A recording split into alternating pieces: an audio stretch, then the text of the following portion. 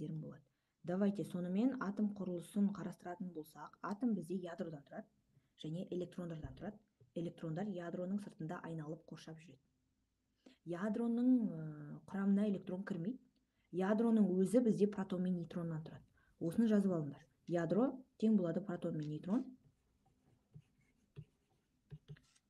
протон бар және құрамында нейтрон бар. Протон мен нейтрондарды бізде нуклондар деп айтады. Жаңартылған бағдарламада оны нуклондар деп беретіндігін білесіңдер. Мысалға литий атомының нуклондары десе сен ядросының құрамындағы протон мен нейтронын белгілейсің. Электрон оның құрамына кірмейді. Электрон ядродан бөлек жүр. Бұл жалпы атомның сонымен құрылысы екен. Келесі бір ә, суретке назар аударатын болсақ қараңдар. Литий атомының моделі көрсетілген. Бұл жерде қызыл домалақтар бар көк домалақтар бар сары домалақтар бар. Байқасыңдар да? Қызыл бізде протондар көк бізде нейтрондар көк болғанда яғни фиолетовый болып тұрған шығар мына жерде сендерге да и сары бізде электрондар. Сонда қарайтын болсыңдар үш протон бар ә, төрт нейтрон бар и сары электрон бар. Үш протон төрт нейтрон үш электрон бұл литий атомының құрамы. Бірақ қайдан білдік деген сұрақ туындайды біз әрине білеміз периодтық жүйені қолдану арқылы. Периодтық жүйеде кез келген элементтің реттік номері бар ол жоғарыда көрсетілген. Вот мысалға фосфордың мысалында ол 15 он бесінші орналасқан деген сөз реттік номер. И асты оның атомдық салмағы. Фосфордың атомдық салмағы жуықтаған кезде 31 да? Сонда біз былай жазамыз. 15 орналасқан 31 деп. Осы z бізде реттік номер кез келген элементтің протон санына электрон санына тең болады екен. Демек сен фосфордың 15 орналасқандығын біле отыра құрамында 15 протон құрамында 15 электрон бар деп бірден айта саласың. Проблема жоқ. Бас қатырмайсың да? Периодтық жүйені аштың қарадың күкірт 16 орналасқан 16 протон 16 электрон. Хлор 17 орналасқан 17 протон 17 электрон. Осылай кете береді. Енді нейтрон бар ғой бізде. Нейтрон есептелінеді атомдық салмақтан протон санын азайту арқылы. Міне жоғарыда оның формуласы берілген. Значит сен фосфордың нейтрон санын тапқың келсе 31-ден 15-ті азайтасың. 31-ден 15-ті азайтқан кезде нейтрон саны бізде 16-ға тең болады екен. Литийге қайтадан оралатын болсақ ә, сонымен литий периодтық жүйеден қараймыз ол үшінші орналасқан салмағы жетіге тең. Сонда демек үш протоны бар үш электроны бар. Электрон мен протон ол реттік номерге тең екенін ұмытпаймыз. Және нейтрон санын жетіден үшті азайтсақ төрт нейтрон бар. Вот міне литийдің атомының құрамы. Ескеріңдер бұл атомның құрамы. Енді бізде ә, егер модель бойынша жазатын болсақ алдымен ядроны көрсетеміз. Нуклондар. Үш протон төрт нейтрон осыны жақшаға аламыз бұл ядро. Және осының сыртында бізде үш электрон бар екен. Литий атомының дұрыс моделі осылайша жазылу керек та құрамының яғни. Бірінші ядро көрсетіледі нуклондары сосын соның сыртында электрондар жүреді. Бұл резерфордтың планетарлық моделі сияқты. Электрондар ядроны айналады деген ол тұжырымға келген. Планеталар күнді айналатын сияқты электрондар да ядроны айналып жүреді деп. Сол үшін ә, ядроны жақшаның ішінде көрсетеді электронды сыртында көрсетеді. Тестте сұрақ келсе мұқият болыңдар. Литий атомының құрамы деген сұрақ болуы мүмкін литийдің ядросының құрамы деген сұрақ болуы мүмкін. Мысалға бірінші сабақтың үй жұмысында ол сұрақ бар калийдің мысалында сәйкесінше ядро десе протон нейтрон атом десе протон нейтрон электрон барлығын белгілейсіңдер. Аса қатты қиындық туындатпайды қолдарыңа периодтық жүйені аласыңдар да любой элементтің құрамын айта бересіңдер. Мысалға бор бесінші орналасқан. Бесте он бір. Біз ә, бұрын осы периодтық жүйенің схемасы бойынша жоғарыға реттік номерді и астына атомдық салмақ жазатын едік. Бірақ ғылыми оқулықтарда физикада байқасыңдар былай береді. он бірде бес деп. Жоғарыға салмақты береді астына реттік номер жібереді. Қазір де химия оқулықтары осыған көшті. Бұрын химия оқулықтары былай берілетін еді қазір ол дәл ғылыми оқулықтағыдай да бере беретін болды. Сонымен так мынау не дейді менің сетім қуып кеткен жоқ па да әйтеуір ә, главное реттік номерін біліп алыңдар. Жоғарыда тұр ма астында тұр ма чтобы шатасып қалмас үшін да? Егер былай беріп қойса сен мынаған назар аударасың бесінші тұр. Периодтық жүйеден оған көз жеткізесің. Сонымен құрамында бордың 5 протон бар. Енді нейтрон нуклондарын анықтап алайық алдымен 11-ден 5-ті азайтамыз. 6 нейтрон. Міне мынау бор атомының ядросы. Енді электроны керек болса 5 электрон дейміз. себебі протон мен электрон бізде бірдей болады екен. Ескеріңдер кез келген атомның электроны өзгеруі мүмкін. Ә, себебі бұл қосылысқа түседі. Қосылысқа түскен кезде белгілі бір атом береді белгілі бір атом алады электронды. Ион болады яғни. Сол кезде электрон өзгереді протон саны өзгермейді. Осыны ескеріңдер. Сосын ядроның ә, құрамында бізде протон оң зарядты. Так плюс зарядты деп қояйық. Ал нейтронның заряды жоқ. Сондықтан ядроның зарядын сұраса сенен ол оң зарядты болып келеді және ядроның заряды протонның санына тең болады. Егер саған бор атомының ядросының заряды десе плюс таңбалы себебі ядродағы нейтронның ә, заряды жоқ сондықтан ол тікелей протонның зарядына тәуелді және протонның санына тәуелді. Демек бордың ядро заряды плюс 5 азоттың ядро заряды плюс 7 оттектің ядро заряды плюс 8 фтор плюс 9 деген секілді жалғаса береді. Екен. Енді сендердің 10 сынып кітаптарыңда жаңартылған бағдарламада нуклондар нуклидтер изотоптар изобара изотондар деген анықтамалар бар. Ә, бір назар аударып шықсаңдар болады. Түсінікті? Қазір біз уже изотоптарға көшеміз. Мына жерде изобара мен изотондарды да бір оқып шығыңдар. Давайте енді мынадай бір тест сұрағы. Әрбір тақырыпты өткен кезде біз практикалық сұрақтарға аса қатты назар аударатын боламыз.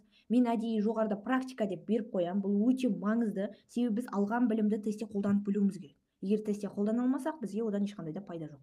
Сол үшін практикалық сұрақтарға назар аударыңдар.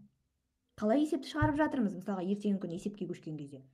Ә, тотығу тотықсанды қалай теңестіріп жатырмыз? Қалай катоданы анықтап жатырмыз? Барлығы осы практикалық сұрақтарда аса қатты фокус қойылып айтылатын болады. Енді бізде бірінші сұрақ. Элементтің атомдық номері нені білдіреді атомдық номер деп отырған жаңағы z.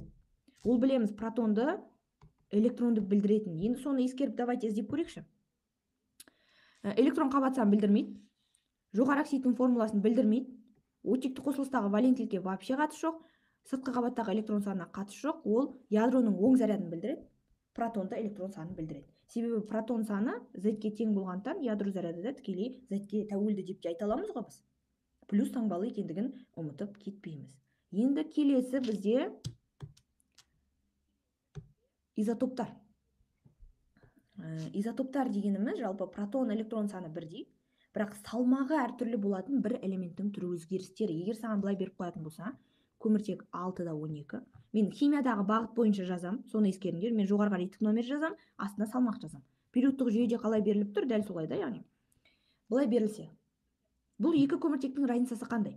Жоғарыдағы алтылары бірдей екеуінде де да ал астындағы салмақтар әртүрлі болып тұр. Сәйкес екеуі бір біріне изотоп болып келеді екен. Яғни табиғатта көміртек менделеев бекіткен ә, салмақпен кездесе бермейді. Менделеев бекіткен салмақ оған міне көміртекті іздеп тауып аласың ол 12 орналасқан. Бірақ ол табиғатта 13 атомдық салмақпен 11 грамм моль атомдық салмақпен кездесуі мүмкін. Табиғатта дәл осы күйде кездеспейді деген сөз да. Сәйкес оның салмағында ғана разницасы болса ол бізде изотоп деп аталады екен. Бұл екеуі табиғаттың ой табиғаттың деп көміртектің екі табиғи изотоптары. Жазып алыңдар. Тестте сұрайды табиғатта көміртектің қанша изотопы кездеседі деп. Кезде екеу дейсіңдер осы 12 мен 13 сәйкесінше қараңдар біз ә, нейтрон санын табу үшін атомдық салмақтан протонды азайтамыз да. Сәйкесінше егер салмақ екеуінде екі түрлі болса автомат түрде нейтрон да екі түрлі болады ғой. Мына жерде алты нейтрон бар мысалға ал мына жерде жеті нейтрон бар. Демек бірінші шығатын ақпарат ә, салмақ әртүрлі нейтрон әртүрлі тестте келеді осы. Ә, протон электрон бірдей. Мыналар өзгермейді оның ал салмақтары өзгереді салмақ өзгерген соң нейтрон саны да өзгереді. Қазір тест сұрағы бар соған біз назар аударатын боламыз. Енді келесі бір тағы суретке назар аударсақ бұл модель. Сутектің изотоптары көрсетілген проти дейтерий тритий осы жерде мен қызыл домалақпен протонның санын көрсеттім көк домалақпен электрон санын көрсеттім қара домалақпен нейтрон санын көрсеттім. Енді біз қазір әрбірінің протон нейтрон электрон жазып шығайық. Міне проти қараңдар бұл жерде бір протон бар. Және ядроның сыртында бір электрон бар. Нейтрон вообще жоқ. Бұл протий бізде бірде бір сутек. Салмағы бірге тең рейтинг номері сірә бірге тең. Ал дейтерийге назар аударсақ бір протон бар екен бір нейтрон бар екен ядрода сыртында бір электрон бар екен. Бұл дейтерий бізде бірде екі сутек. Салмағы екіге тең бұның. Келесі тритийде бір протон бар екен екі нейтрон бар екен соның сыртында бір электрон бар екен. Бұл бізде үш атомдық салмағындағы сутек. Үшеуі де сутек. Реттік номер протон электрон саны бірдей. Бірақ салмақтары әртүрлі. Салмақ әртүрлі болғандықтан нейтрон саны әртүрлі байқасаңдар протийде нейтрон вообще жоқ. Бірден бірді айтқанда сегіз нөлге тең. Дейтерийде бір нейтрон бар тритийде екі нейтрон бар. Жаңағы салмақ әртүрлі нейтрон әртүрлі протон электрон бірдей дегенді осы модельден байқауға болады екен бұл сутектің табиғатта кездесетін изотоптары. Протий дейтерий тритий деген изотоптар. Енді давайте кеттік тест сұрағы. Бір химиялық элемент изотобының бір бірінен айырмашылығы дейді. Біз білеміз ең бірінші айырмашылық ол масса бойынша. Табиғатта ол әртүрлі массамен кездесуі мүмкін. Кейін содан шығатын екінші айырмашылық ол нейтрон саны. Себебі салмақ арқылы нейтрон саны есептелетін болғандықтан. Бұл түсінікті шығар деп ойлаймын. Және де тестте сұрақ келетін болса қараңдар. Бүйтсем. Так мына жерде бос давайте мынаған жазайыншы кремний он төртінші орналасқан қателеспесем салмақ жиырма сегіз.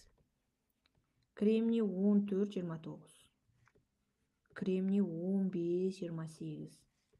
Кремний там он бес жиырма тоғыз деп келетін болса. Кремнийдің изотоптарын көрсет десе сен қолыңа периодтық жүйені аласың. Ә, кремнийдің нешінші орналасқандығын тауып аласың. Реттік номер саған маңызды. Сен периодтық жүйеден қарасаң кремний он төртінші орналасып тұр. Демек мыналар никак жауап болмайды. Себебі он бесінші уже бізде фосфордың орны да. Менделеев кремнийге он төртінші орынды берсе оған он төрт электрон он төрт протон сәйкес бар болса ол өзгермейді. Кестедегі орны бойынша он бес бола алмайды ол уже. Себебі он бес уже фосфордың орны болып кетеді. Сондықтан сен он төрт кремний дегендерді белгілейсің жиырма сегіз бен жиырма тоғызды. Осыдан шатасып қалмаңдар. жиырма сегіз деген малярлық массаны көріп кетіп атомдық салмақты яғни он бес дегенді белгілеп кетіп жүрмеңдер бұл өте үлкен қателік болып саналады.